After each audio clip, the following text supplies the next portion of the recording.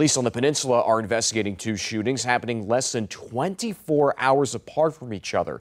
A homicide that happened overnight on West Mercury Boulevard in Hampton and a shooting involving a teen on Manor Road in Newport News.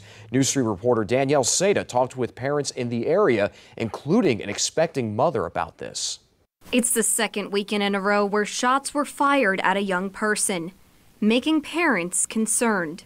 Another teenager has been struck by gunfire on the peninsula, an expecting mother saying that she's fearful to bring her child into this world. Jasmine Rogers is a soon to be mother of two. She's expecting a bundle of joy, but recent events have caused her to be a bundle of nerves. It's ridiculous. Like, kids can't even be kids no more because kids got guns and shooting at the kids.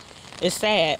It's really sad. Rogers says it's robbed her daughter and her cousins of playtime. At young ages, the concept of gun violence had to be a part of their early education and everyday life. She don't even come out here outside and play. My nieces, my nephews, my daughter, they don't come out here and play because there's always something going on. Like always. On Sunday, police covered the apartment complex where Rogers lives.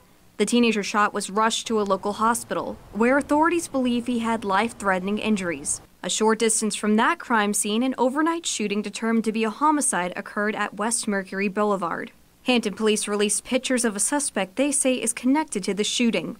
While police investigate both shootings, parents like Rogers are left wondering when will it end? Where's the structure? Where's the parents at? In Newport News, Danielle Seda, News 3.